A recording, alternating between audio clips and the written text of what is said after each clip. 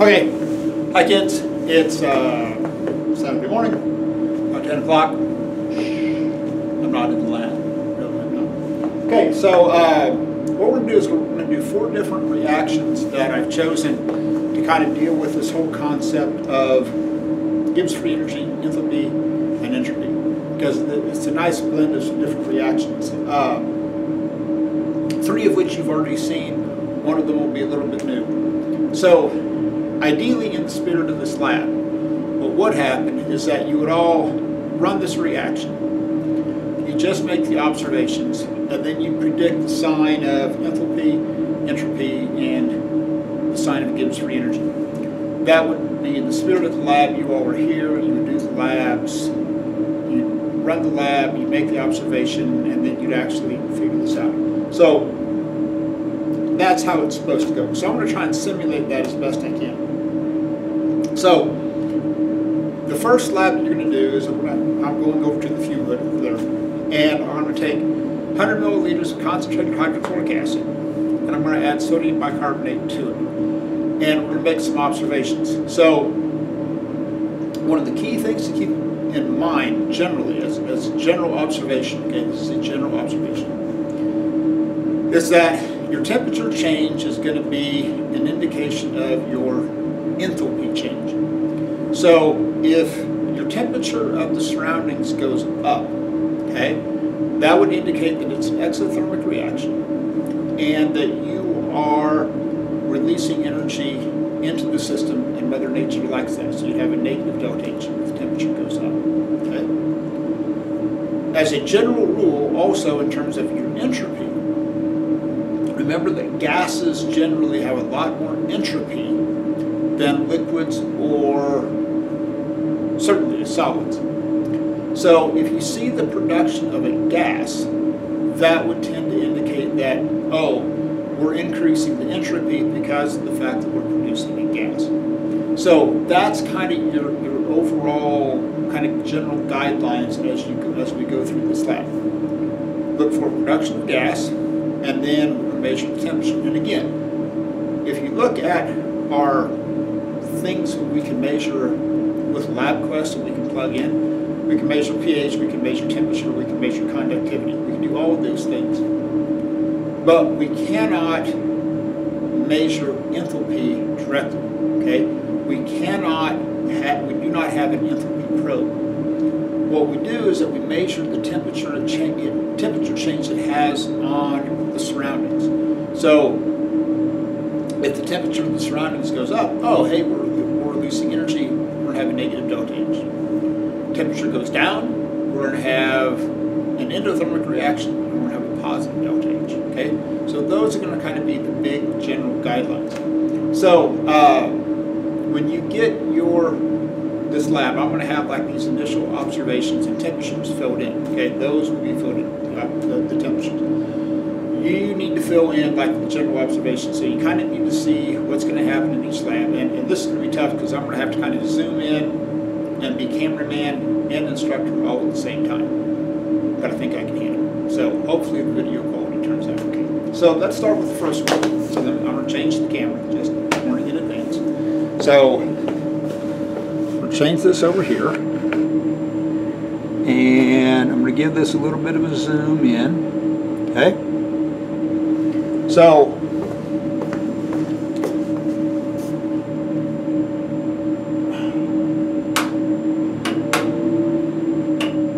okay, so it's trying to mess with the blower. All right, so in here I have 100 milliliters of concentrated hydrochloric acid. And the initial temperature is about 18 and a half degrees. So if we look at yonder LabQuest, we're at about 18 and a half degrees. So that's going to be a key thing to watch.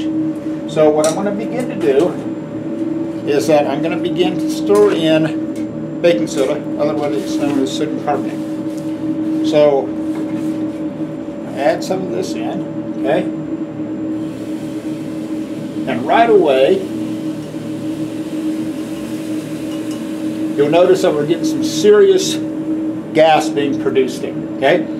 And the temperature is starting to go up we're up to like 19, okay? And then I'm going to add some more. Up 19.6, 19.7. Okay. Way to 20.2. So at this point, we're releasing a lot of energy. Okay. So up to 20.5. Adding. Adding. Oh, but something's happening now. Now the temperature's starting to drop. So now we're down to like 19.3 and 19.2, okay? And 18.7, okay? Stir. We're down to like 15.5, 15.2, okay? And what's happening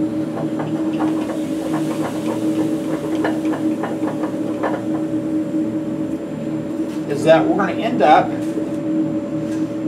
we're at 12.9. So if you could if you could be here, you could actually feel the side of this beaker, and it's very very cold actually. So what happened is that we initially released some energy in breaking some bonds. That's why that temperature went up.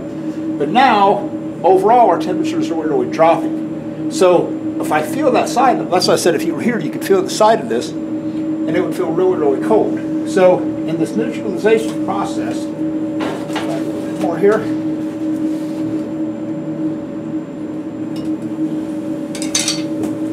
So in this process, uh, I was set it at about 11 and a half. That was about it. So we went from 18 and a half down to a bottom temperature of 11 and a half. So we, that temperature dropped. So what that means is that overall, this reaction was very endothermic.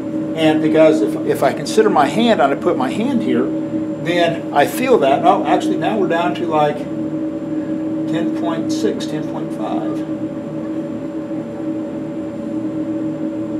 Okay, we'll call it 18 and a half down to 10 and a half. Remember those numbers, 18 and a half, 10 and a half. So when I type them in, hopefully, oh, now we're down to 10. Oh, now we're, now we're down, oh, we're down to single digits now. So now we're down to 9.2, 9.1. 8.5, 8.3. How low will it go?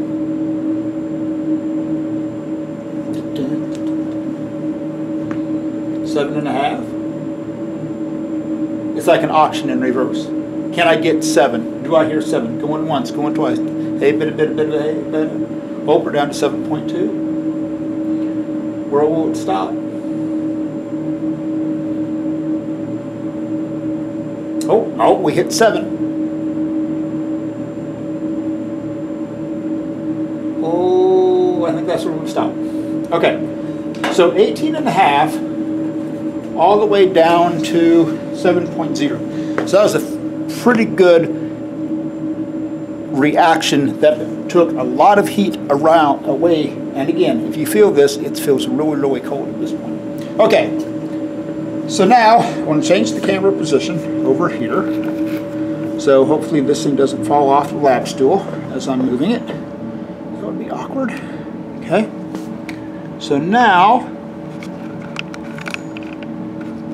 oh, sorry about that.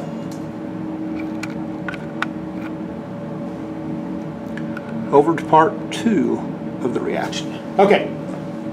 So, all right, I don't know if you can see this. So on the next part of the reaction, okay, so we've done the hydrochloric acid and sodium bicarbonate. Now we're to do the nitrite and the iodide. So what we're to do here is that we're to take 0.1 molar potassium iodide, okay, and take about, two milliliters of this, okay. And then we're going to add some 0.05 molar sodium nitrite, not nitrate, this is important, sodium nitrite. And we're gonna add about an equal amount of that. Okay.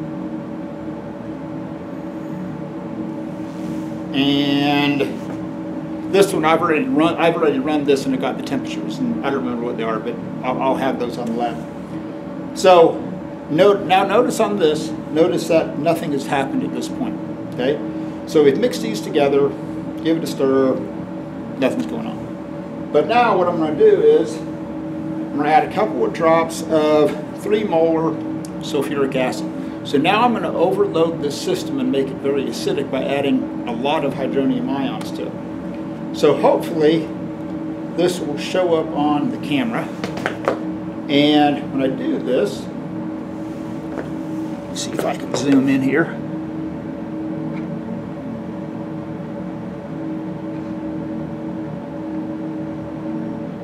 Okay, hopefully that stays in focus. Now I'm going to add the sulfuric acid to it.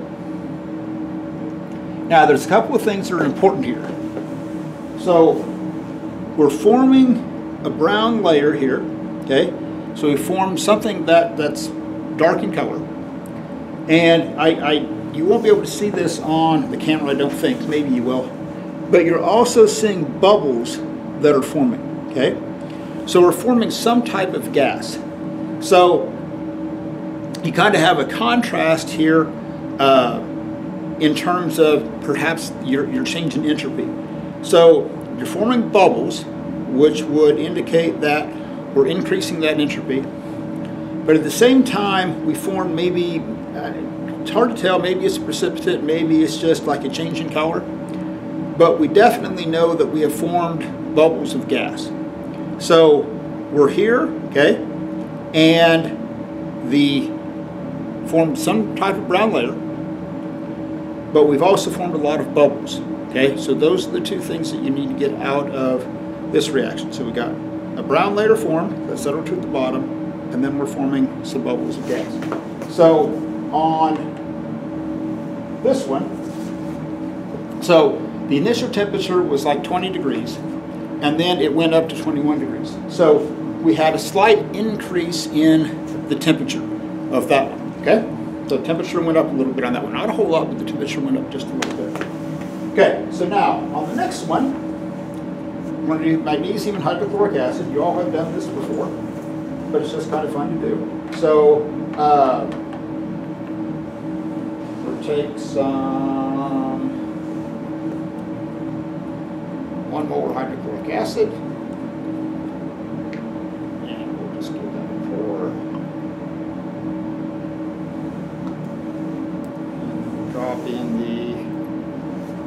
Of magnesium.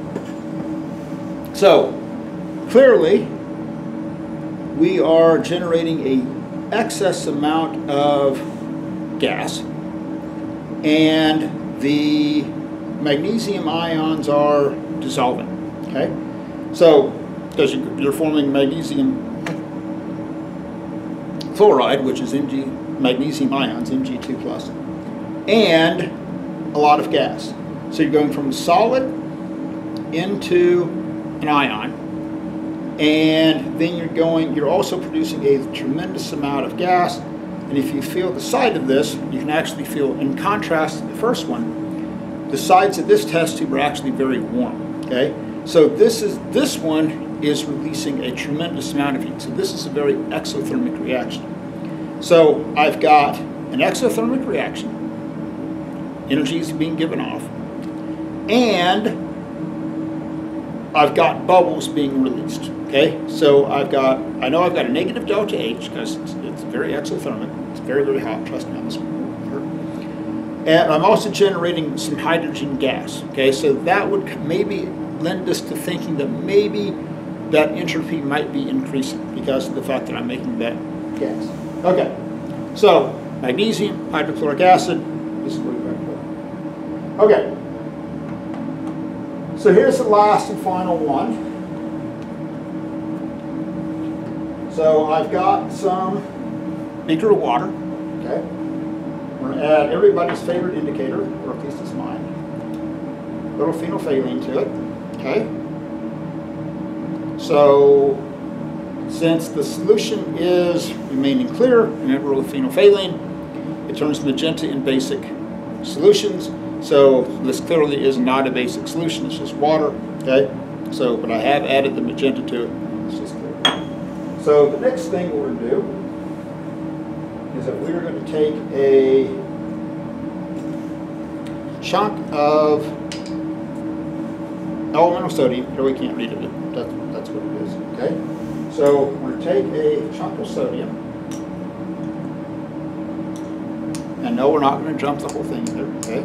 So a little bit of sodium here. And trim a little bit of that off. Okay? And then I'm gonna dump that in, okay? And you can hear it sizzling. And it's getting hot, okay? So again, I've got the temperatures, I think this one went up by like one or two degrees. So we had a little bit of sodium in here, reacted with the water. The color clearly turned, or the color turned magenta. So we got some hydroxide ions being produced, it, turned basic. So here's what's happening with this one. You had a solid chunk of sodium, not very much entropy, reacted with the water. We produced some hydroxide ions, and there was some gas being released as well. Okay, so we got a gas, we got some ions, we had a solid. Solid is no longer there, but it turned into nice, nice magenta.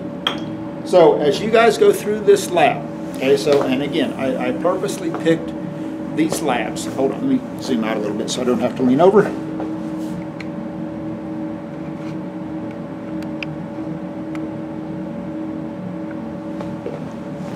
So I hope, this is the problem of me being the cameraman, I hope you all can just see, see every reaction that I just did.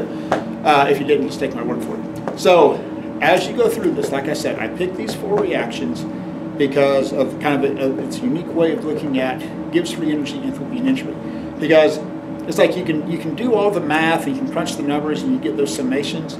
But until you kind of visualize, oh, this is what this actually means. This is what a, a you know a positive enthalpy means. Oh, this is endothermic with the, with the hydrochloric acid and sodium bicarbonate. Oh, this is exothermic. Oh, that was the hydrochloric acid and the magnesium. They got really, really hot and we produced the, those that hydrogen gas. So that's why I chose those reactions. So as you go through the lab, and the lab's going to take a while to go through, because there's a whole bunch of calculations to do. So actually, I'm going to send this lab out on Monday, and the lab will be due on. Well, I'll figure that out. I'll see how the schedule goes. I'll see how long I think. We'll talk about that later. Anyway, so hopefully you enjoyed the lab. There were some cool things that happened. I wish you all could have been here to actually do this lab in person. And uh, be safe.